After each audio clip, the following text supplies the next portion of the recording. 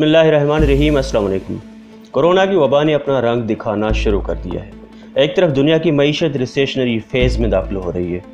Petrol का बहरान है और कई ममालिक को टिड्डी दल के हमलों से पैदा होने वाली सूरत हाल जिसमें खुराक का बहरान दर पे है। आपने अगर हमारा ये चैनल अभी तक सब्सक्राइब नहीं किया है तो अभी इसको सब्सक्राइब करें, बेल आइकन पर क्लिक करें और वीडियो को लाइक ज़रूर करें। उसका सामना है। तो दूसरी तरफ़ तमाम मजाहब की इबादत मुतासर हो रही हैं। हज मुसलमानों के लिए पाँच बुनियादी अरकान में से एक अहम रुकन और बड़ा फरीज़ा है, जो हर साल इस्लामी कैलेंडर के महीने जुलहज में अदा किया जाता है। दुनिया भर से इस मुकदस फरीज़े की अदायगी के लिए तकरीबन ढाई लाख मुसलमान सऊदी अरब में मक्तुल मुकरमा पहुँचते हैं। इस महलिक वबा के बावजूद बड़ी तादाद में मुसलमान ये फरीज़ा, ये मुकदस फरीज़ा अदा करने के लिए तैयारी कर रहे हैं मगर इस दफ़ा वबाई हालात के पेश नज़र मुसलमान शायद इस साल हज अदायगी से महरूम रह जाएँ।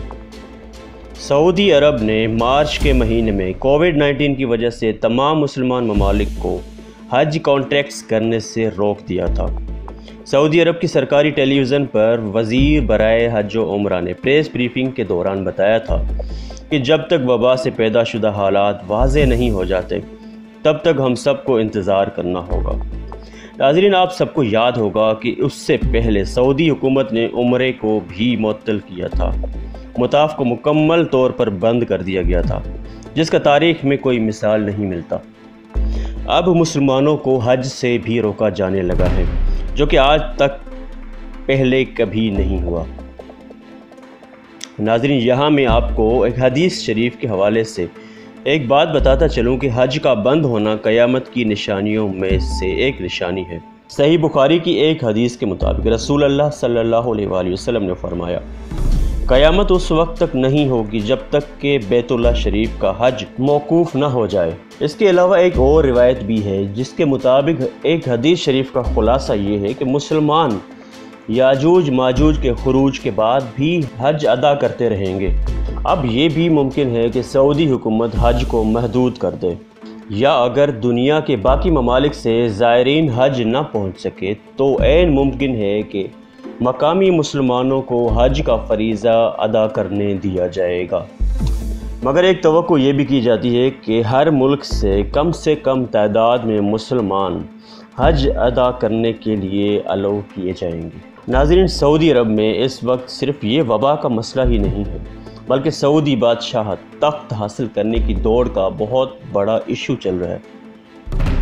इसी साल की शुरुआत में सऊदी अरब में हुकूमत का तख्त उलटने के इल्ज़ाम में शहजादा मोहम्मद बिन सलमान के हुक्म पर अहम शहजादे हुकूमती अहदेदार और फौजी अफसर गिरफ़्तार किए गए थे। उनमें सऊदी बादशाह के भाई prince Ahmed bin Abdul Aziz, prince Mohammed bin Naif ये भी सबका वज़ीर दाखिला और सऊदी अरब के क्राउन भी रह चुके हैं। इनके नाम शामिल हैं। Saudi crown prince Mohammed bin Salman को खदशा था कि ये लोग दीगर प्रिंसेस से मिलकर, उनके साथ उनको शामिल करके मोहम्मद बिन सलमान को हटाने की प्लानिंग कर रहे थे।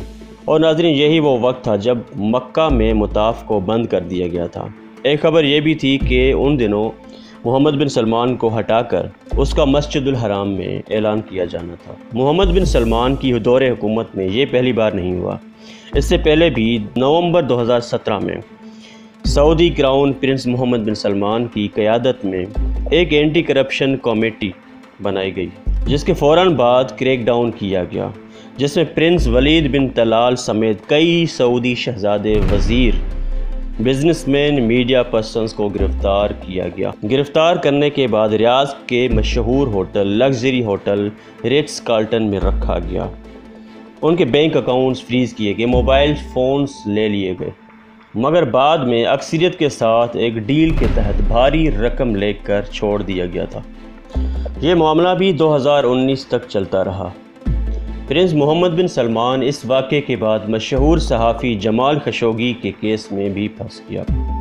जिसका कत्ल प्रिंस मोहम्मद बिन सलमान के हुक्म पर तुर्की के शहर इस्तंबुल में मौजूद सऊदी एम्बेसी में किया गया। मगर अमरीकी सदर डोनाल्ड ट्रंप के साथ मोहम्मद बिन सलमान के अच्छे ताल्लुक होने के बायस अमरीका की मदद हर मामले में हासिल रही है।